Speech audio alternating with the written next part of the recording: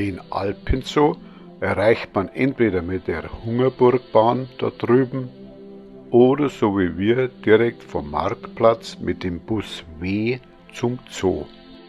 Wie der Name des Zoos schon verrät, findet man hier viele Tiere der Berge wie Geier, Steinadler, Biber, Murmeltier, Wiesent, Elch, Braunbär, Luchs, Wildschwein, Wolf, Gemse, Steinbock, Vögel und vieles mehr.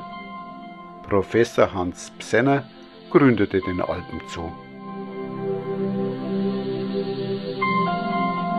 Wir waren vor acht Jahren schon hier, da sahen wir in der Vogelvoliere viel mehr Vögel als jetzt. Jetzt sind wir schon bei ganz typischen Bergtieren, den Gämsen.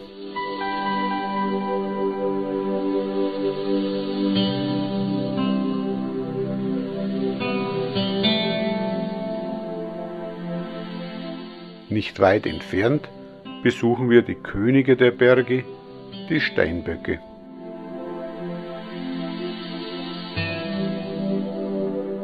So nah praktisch auf Tuchfüllung wird man sonst nirgends einen Steinbock betrachten können.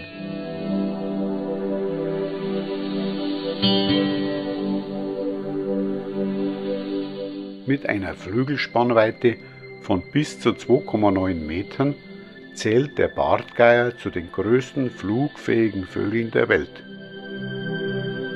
Dieses Exemplar, auch mit einer beachtlichen Größe, dürfte ein Gänsegeier sein.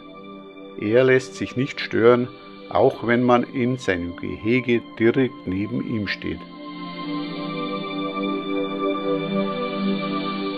Die Wiesente sind heute ganz schön munter.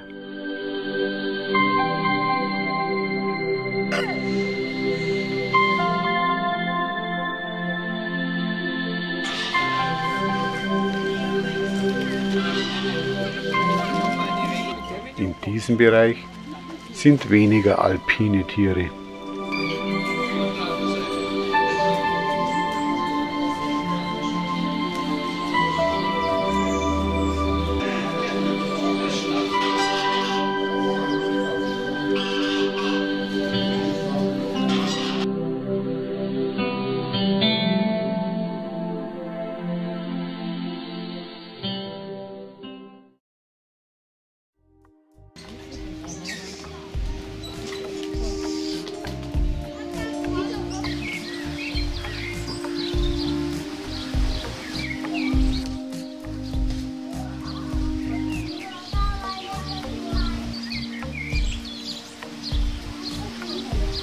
Im Gegensatz zum Murmeltier verziehen sich die Wölfe, wenn man an ihr Gehege tritt.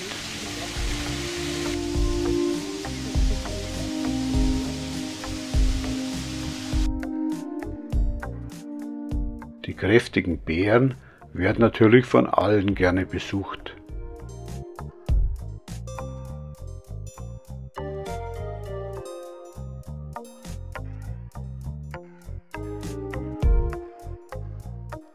Die Bären sind satt, da freuen sich andere über dieses Mahl.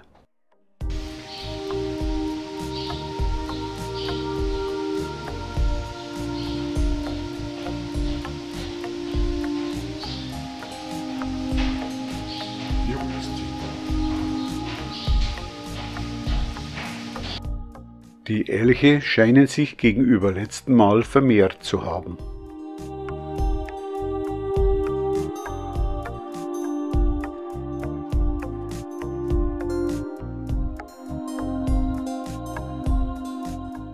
Noch macht dieser Luchs ein Nickerchen.